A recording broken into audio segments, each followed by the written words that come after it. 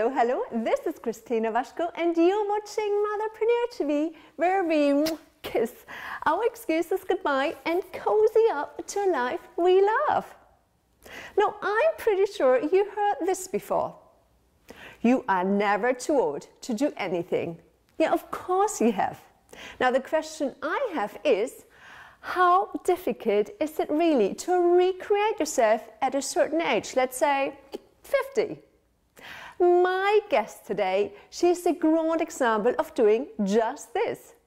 This lady, she created a professional career for herself without any previous experiences, without no connections in a field where she initially didn't have a clue about.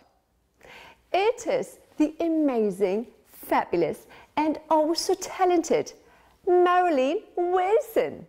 Find out how Marilyn morphed from a stay at home mom with three children into the unofficial queen of the Vancouver Fashion Week. Yeah, hello, how cool is this? I mean, if this isn't enough, Marilyn recently published her first book, Life Outside the Box The Extraordinary Journeys of 10 Unique Individuals. Enjoy!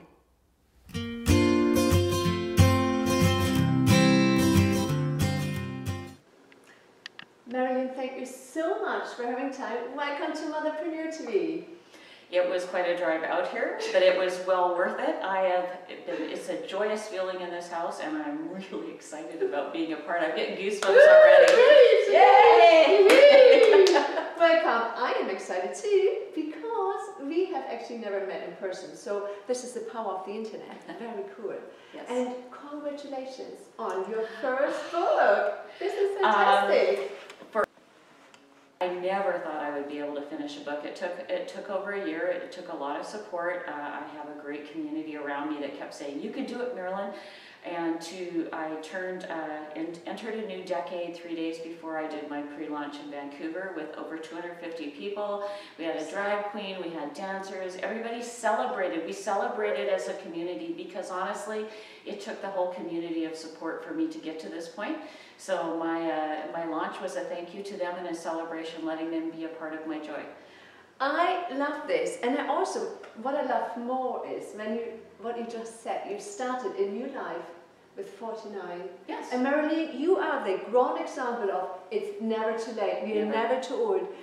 At the age of 49, I realized my children didn't need me as much. I, they had been bullied and I'd been very involved in their life and keeping them safe.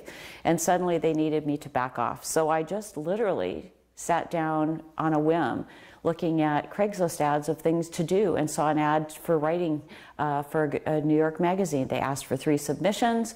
Uh, I sent them two, two were accepted, and suddenly here I was I hadn't written since university. I had to figure out how to interview, how to do articles, how to get photo shoots done. Uh, it truly came out of nowhere. I just kind of trusted my instincts and a door opened and I jumped through. No idea what I was doing. Hang on, so you haven't written before in your life? No. I, I had great grades in English. I always I read a lot. Yeah. Like the basics are there. You yeah. don't get there if you if you're poor at English and don't read. It's mm -hmm. not going to happen. But um, the fashion world in particular has a lot of opportunity because of all the online magazines to write. And they would let me interview somebody and write, and I'd always been intrigued by people. So I go to my first interview with this lady, and went two hours long. She's become a great mentor, but I had goosebumps. I have goosebumps now thinking about it. It was life changing. I'd always been interested in people. I'd studied counseling and psychology and felt it was too depressing. And it was a return to that love of people, but it was positive. Right. They were sharing their stories with me, and I had the privilege of writing up. What I gave back was was an article on them. So they gave me the story I was I was dying to hear, and I gave them the press that they wanted. And so the concept is Ujjayi. We work together. We raise our spirits. We raise our economy. We raise our our presence in life, and we grow by by benefiting each other. Are you fishing in this stuff? No. That gets better and better. I was I was dressing from Costco and Payless because I was home with the kids. I had no money. We were a one income family. And I, I went into my first fashion week with used shoes, used clothes. I had no idea what I was doing. Um, I, nobody would talk to me. I had to go talk to them. but I so wanted to interview people that I was willing to do what it took. Um, and that's why I finally got some advice, and it took me a long time to get a better wardrobe because I had to go slowly because of money. But you know, I didn't know what fit me. I'd had three kids, and my body had changed, and so I actually went to one stylist over four years, twice a year, and we put new basics in that, that looked good on me, and she talked to me about my body and explained to me how I could look really good. I am ever so grateful.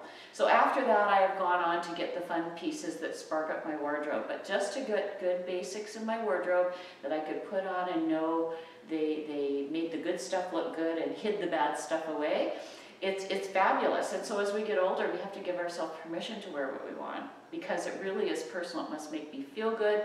It must uh, be the relationship I want, which is is I want it to be fun, I want it to have a story, like know the designer or where it came from or have seen it, and, and I want to feel good in it. So if we know what looks good, shopping gets so much easier.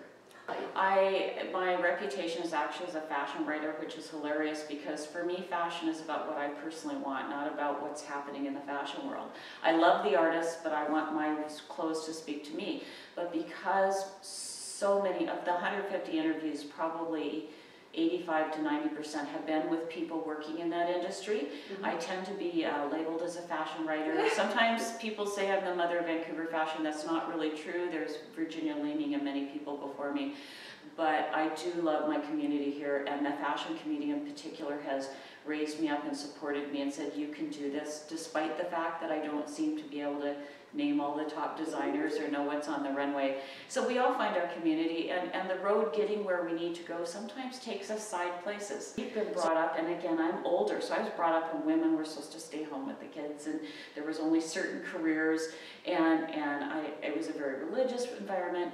Letting all of that go and listening to my heart, I think I do a lot of good by sharing people's stories. It's changed my life. Now, I would really like to know, as the mother who is married, who has three children as well, what did your husband say when you said, oh, I start writing? Did he say, oh, yeah, well done, sweetheart, yeah, I go, go for it? Or did you say, this, oh, this is, this is a favorite question and I never get asked it, so I'm so grateful.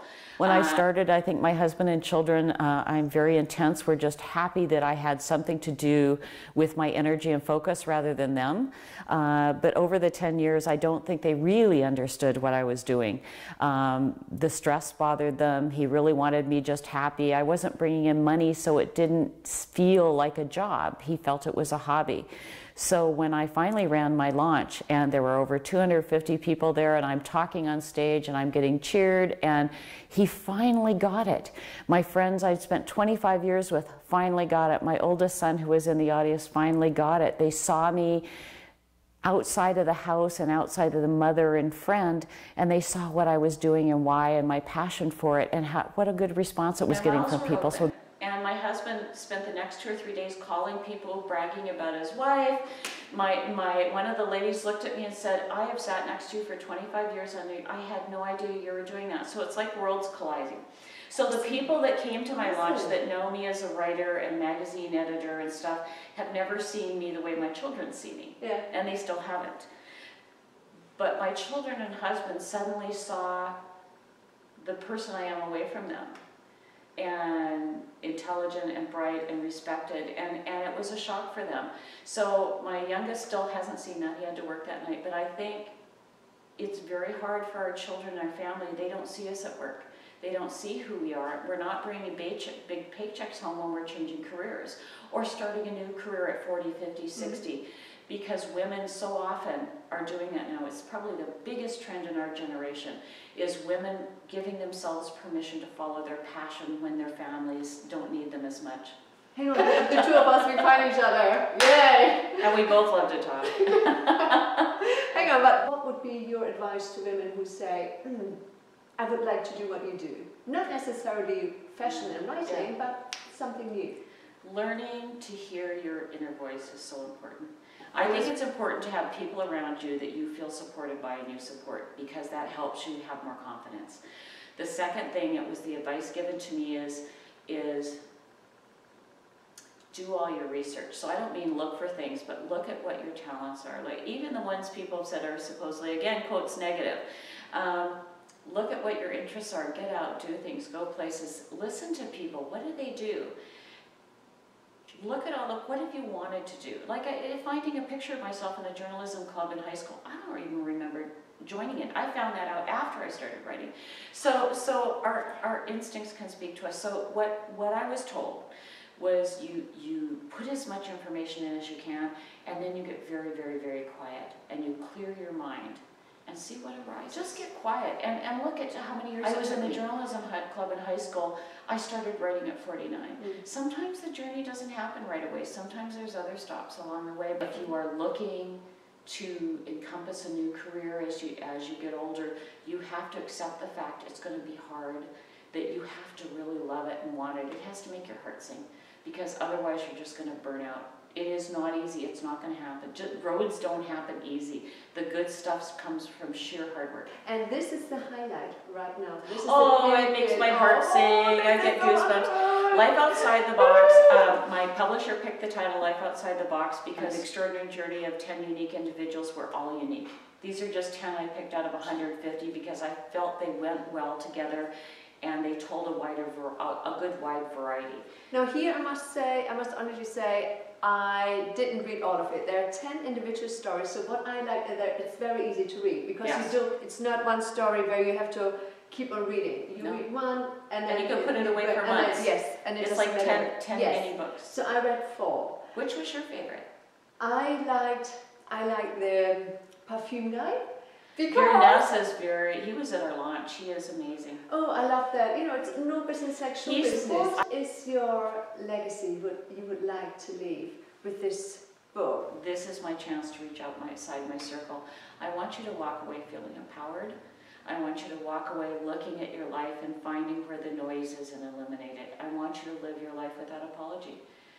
You don't owe an apology. You are exactly who you are meant to be.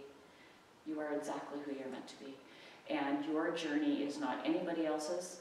Your journey, your definition of success is yours alone.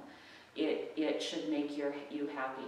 I mean, somebody asked me my definition of success. I didn't even have one. I wasn't raised that you would be successful. You did a life of service. So what is your definition of success? Finishing this book is one. But I love your pink. It suits your personality. I think you just rocked it. Ooh, I walked in and I went, I gotta talk to this person. yeah and it's head that I waved you in from the driveway. It's, it's friendly and happy. Thank you. Yeah. Thank you very much. Oh, thank you so much. Now, what I said, you are the grand example of walking your talk. Really good. Now, where can we find this amazing, wonderful, great book? Life Outside the Box, The Extraordinary Journey of 10 unique individuals, I was told I need to give you the whole tagline there, is uh, online right now. Mm -hmm. I mm-hmm. hope it'll end up at stores. In Canada, it's at Chapters and, and Amazon. In the US, it's at Chapters and Barnes & Noble. And how about this? If you happen to have a really nice story, can our viewers contact you, get in touch with you? Yes.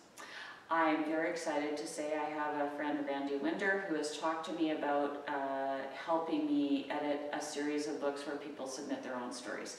Wow. And it would be released under this. So I, I do want to do more books under this, where it's from interviews I came, but and, and put out books where people can give them a voice, let them have a voice for their unique stories. So that has not begun yet, but if anybody's interested, this is a great way to start opening that door. I'm ready. That's fantastic. What an awesome, generous offer. This is the first yeah. person I've told. This is a first for the Motherpreneur TV. This is a first. And Randy, this is for you. Marilee, thank you so much. Stay the way you are. Don't do anything I will do. it's taken me 10 years to and get to this place. Keep so. on running, girl. You're fantastic. You are. This is a pleasure. This But again, this is 10 years journey. You're seeing yeah. me at the end. If you saw me at the start in my Value Village with my, my little hunch and lack of confidence, I this is a journey. Right. Changing is a journey. And give yourself permission. It's hard. It's okay if you cry. Mm. It's okay. oh, man. Juicy. Thank this you great. so much. Okay. We're done. Bye. Buy the book.